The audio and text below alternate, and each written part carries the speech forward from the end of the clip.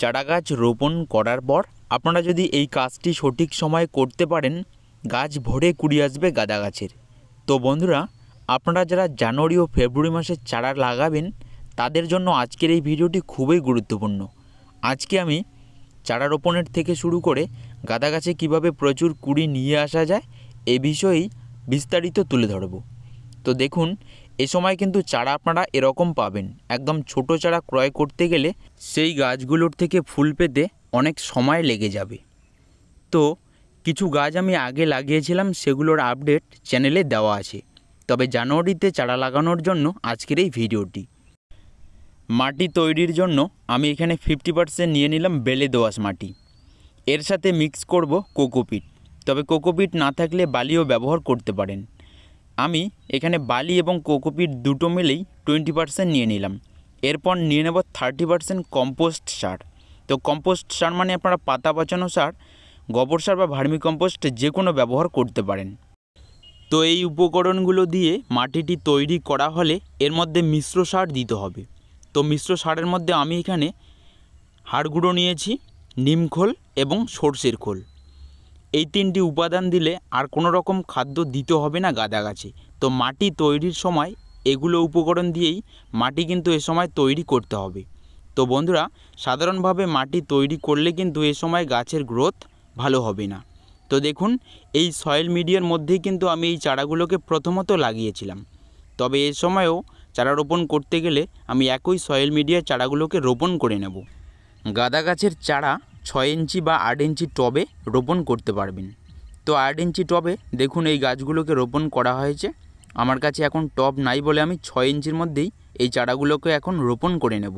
তবে আট ইঞ্চির মধ্যেই লাগালে ভালো হবে এর চারা। নিচে নুড়ি পাথর দিয়ে তারপর মাটিটি ভরিয়ে নেবেন। তাহলে জল জমতে পারবে না টবের মধ্যে। গাঁদা গাছের এই চারাগুলো দশ টাকায় আপনারা নার্সারিতে এ সময় পেয়ে যাবেন। চারা ক্রয় করে নিয়ে এসে প্লাস্টিকটি খুলে নিয়ে এভাবে সরাসরি টবে রোপণ করা যাবে। তো এই চারাগুলোর কিন্তু প্রচুর পরিমাণে শেকড় রয়েছে। তো এই জন্য সাধারণ মাটিতে রোপণ করলে ভালো গ্রোথ হবে না। কারণ চারা বড় থাকার কারণে এই গাছগুলো কিন্তু কয়েক দিনের মধ্যেই এই টবের খাদ্যটি নিতে শুরু করবে। তো এই জন্য এরকম সয়েল মিক্স তৈরি করে এ সময় এই চারাগুলোকে রোপণ করুন। শুধু গোবর সার দিয়ে এ সময় চারা রোপণ করলে কিন্তু হবে না। এরকম বড় চারার ক্ষেত্রে এই পদ্ধতিতে মাটি তৈরি করে লাগালে সব থেকে ভালো হবে। এরকম চারা রোপণ করলে প্রথমত চারা রোপণের পর এই কাজটি অবশ্যই করবেন। গাছের যে প্রথম কুড়িটি থাকবে, সেটিকে এভাবে কেটে দিলে ভালো হয়। কারণ এই কুড়িটি কয়েকদিনের মধ্যে ফুটতে শুরু করলে গাছটিতে কিন্তু আর সেরকম ফুল পাওয়া যাবে না। এই কুড়িটি কাটার ফলে দেখবেন নিচের যে কুশিগুলো থাকবে সেগুলো যথারীতি তাড়াতাড়ি বৃদ্ধি হবে এবং পরবর্তীতে ভালো ফুল পাওয়া যাবে এই গাছটির থেকে। এজন্য এই কুড়িটিকে প্রথমত প্রত্যেকটি গাছের থেকে কেটে নেবেন। তো একটি কুড়ি কাটলে কিন্তু গাছটিতে প্রচুর পরিমাণে ফুল পাওয়া যাবে।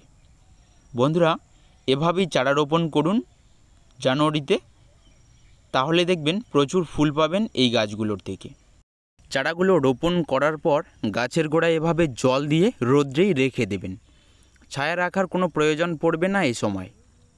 তো এছাড়াও এই গাছগুলোতে এখন থেকে যে খাদ্যটি দেবেন, সেটা হলো সর্ষের খোল পচানো জল। দশ দিন পর পর এই গাছগুলোতে চালিয়ে যেতে হবে। গাছকে সবসময় রোদ্রে রাখবেন এবং পারলে সপ্তাহে একদিন করে নিম তেল চালিয়ে যেতে হবে। তাহলে দেখবেন কোনো রকম পোকার আক্রমণ হবে না। এবং ভালো গ্রোথ নিয়েই এই গাছগুলোর থেকে প্রচুর কুড়ি আসবে। তো ধন্যবাদ, এই ছিল ভিডিও। এরকম আরও ভিডিও পেতে চ্যানেলটিকে সাবস্ক্রাইব করে রাখুন।